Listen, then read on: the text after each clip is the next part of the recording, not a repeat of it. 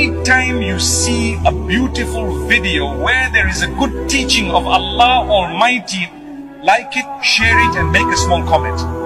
Because the day you meet with Allah, your fingers will bear witness and entire humanity, whoever saw it and witnessed it and whoever benefited from it, you get a full reward for everyone. Sitting in, what did you do? I just liked it, shared it, commented. That's it.